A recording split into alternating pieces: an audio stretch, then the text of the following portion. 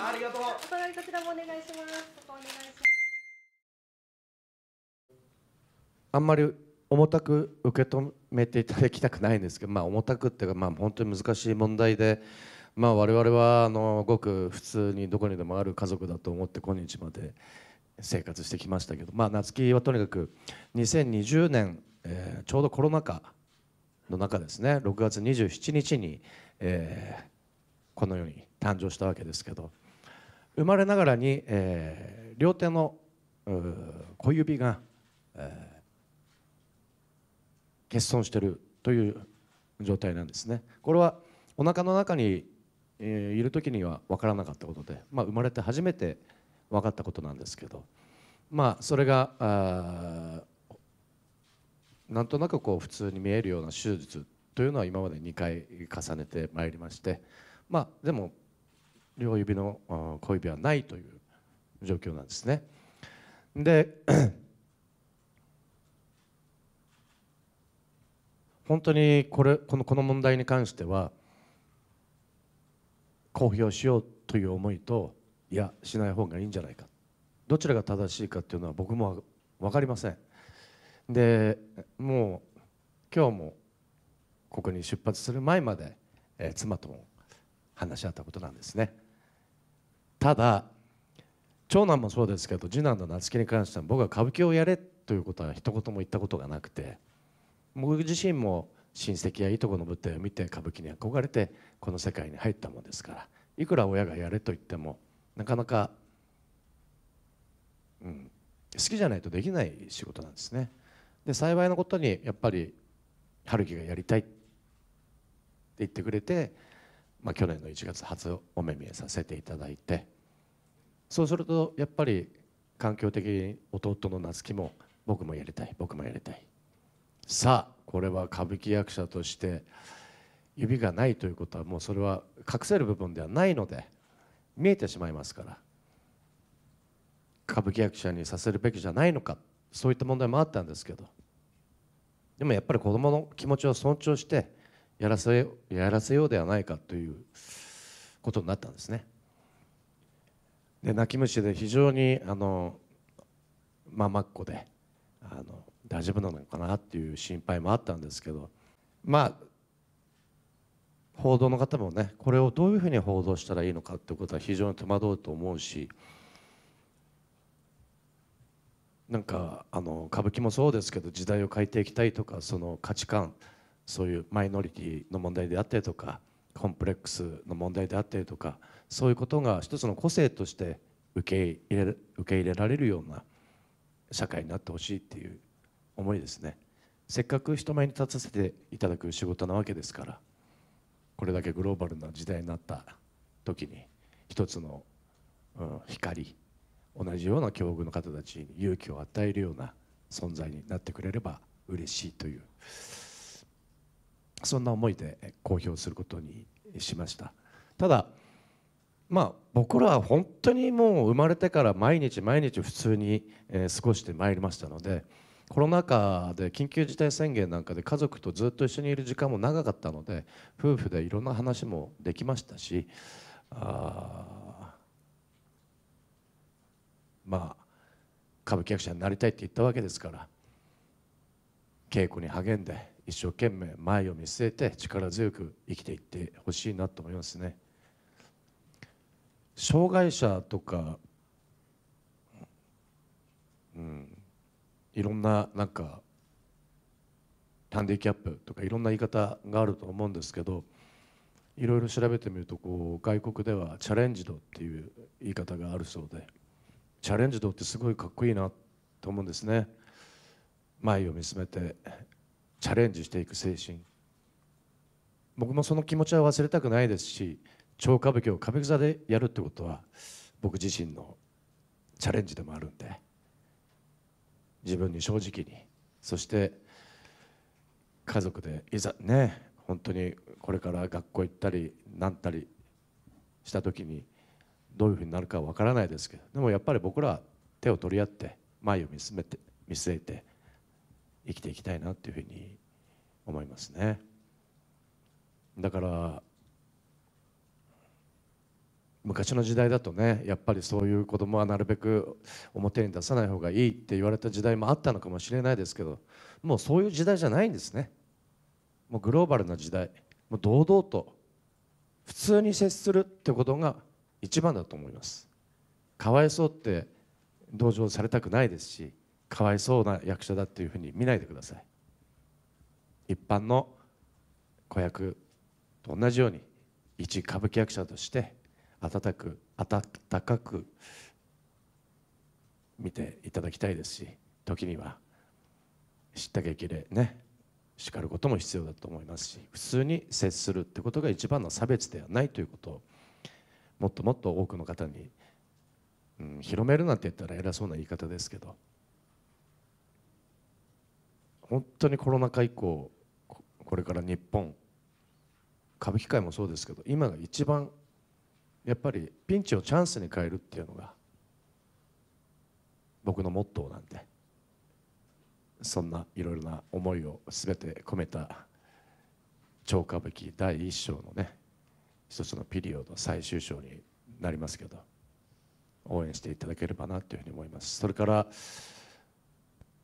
先ほども申し上げました通りこれを言うことによってなんか感動的になんか捉えていただきたいとかあのかわいそうねと思っていただきたいとかっていうのは一切ないそこだけは強調させていただきたいなと思いますねですので報道の仕方っていうのに、まあ、皆さん自由に書いていただきたいと思いますし今言ったことっていうのは包み隠さずあの全て僕の言った通りに報じていただければこんなに嬉しいことはございません。報道の在り方とかその報道の仕方そういったことに関しての報道の仕方っていうのを僕も考えていきたいですし皆様と共にこれから世の中せっかく報道していただけるわけですからやっぱり世の中を少しでも変えていきたいというようなライターさんもねそういう思いで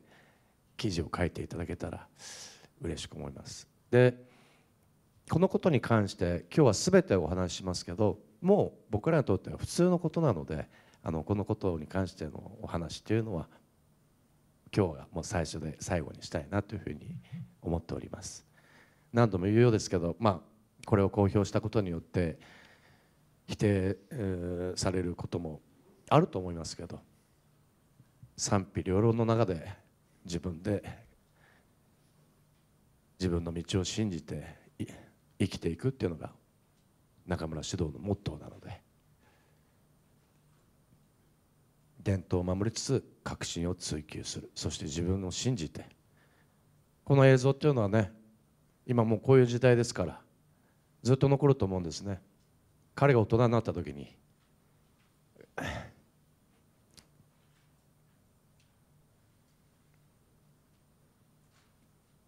この映像を見てあ親父は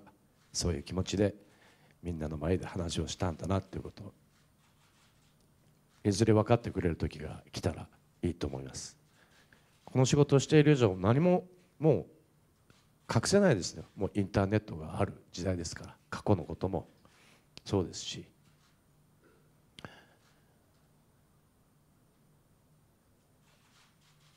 長男次男って言い方するとねお前他にも長男いるだろうって言われることもくさんありますね。分かってますよそんなことは言われなくても。忘れたことは一日も欠かせたことは当たり前ですよ。ないですし。そのことだって春樹夏樹にパパはこういう人生を歩んできてこうだったんだっていうことも物心がついた時にきっちりと説明したいと思ってますね。もう何も包み隠すことなく潔く生きていきたいなというふうに思ってます。だからあまり暗く捉えないでください。なので何かそのことに関してこれからもっともっとだからねだからパラリンピックなんか見てるともう本当に感動して夫婦で泣いたしああなっちゃんもスポーツと演劇でジャンルは違うけどこうやっていろんな人に勇気を与えてくれるような人になったらいいねって言いながらパラリンピックを夫婦で見ていたんですけど。うん、あんまり暗くなることなくこうそうですね。だから本当に役者って、まあ、人生っていいことだけじゃなくて悔しいこともあれば悲しいこともあれば嬉しいこともあるっていうのが人生だと思うんですけどもう彼は彼にしかわからない悲しみということをこれから味わうのかもしれないですけど役者にとってはそれは最大の武器なんですね。人の気持ちや悲しみが分かんないと人情ものなんかやっぱりできないですしそういった意味ではもうすごい強力なライバルが現れたなと思ってますね、えーまだまだ春樹もそうですけど追い越されたくないし中村獅童っていう名前もまだまだ上げたくないと思ってるんでなんか急に彼らがインスタに登場するようになったらフォロワー数が伸びるとかって釈迦に触ってもうしょうがないんですよね。で今回もなんか春樹と夏樹のことばっかり聞かれるんですけどもっともっと僕のことを聞いてもらいたいなと思うしそういう子供っぽい家でもそうなんですよ。だから春樹とじゃんけんやってもね。僕がいっぱい勝ったらいっぱい勝ったって言って春樹がへそ曲げても絶対僕はわざと負けたりとか腕相撲だってわざと負けたりするようなことはしないんですよね。そのことで喧嘩するともううちの妻がいい加減にしてよって言われるんですけど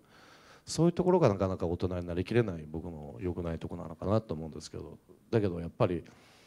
歌舞伎の舞台において小川夏樹という強力なライバル個性的なライバルが出現したなというふうに思いますね、なので温かく見守っていただいて成成長をね見守っていただけたら、えー父親としてはこんな嬉しいことはないですね、うん、何かありあったらはい。徹底的に今日ははあの報道の方とも話し合いたいなと思いますよね。そういうことって今まで触れちゃいけないんじゃないのかなとか生活しててもそうなんですよね。あこのこと言っちゃいけないのかなとかこの間なんかも